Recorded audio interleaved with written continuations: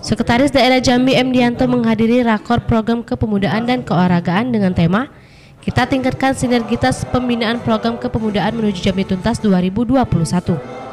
Acara berlangsung di Hotel Sang Ratu Kota Jambi. Dalam rakor ini turut hadir Kepala Bidang Pengembangan Olahraga Tradisional yang mewakili Menteri Kepemudaan dan Olahraga, Asisten Deputi Pengembangan Olahraga Tradisional dan Layanan Khusus, Kepala Dinas Kepemudaan dan Olahraga Provinsi Jambi, dan para undangan lainnya. Diadakannya rakor ini guna untuk mensinergitaskan antara kota, kabupaten, dan provinsi. Sekretaris daerah membuka langsung rakor program kepemudaan dan olahraga tersebut.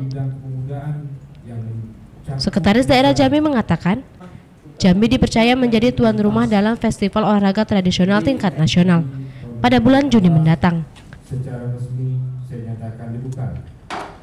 Alhamdulillah malam ini Dinas Kemudian dan Olahraga Provinsi Jambi mengadakan rapat koordinasi kepemudaan dan olahraga seprovinsi Jambi.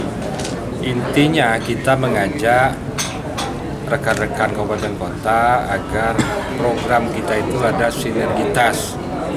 Jadi eh, jangan nanti apa yang sudah direncanakan provinsi, provinsi tidak nyambung di kabupaten. Lalu kegiatan kabupaten ternyata juga tidak didukung oleh provinsi. Dari Jambi, Nurani Unansari, Tribrata TV, salam Tribrata.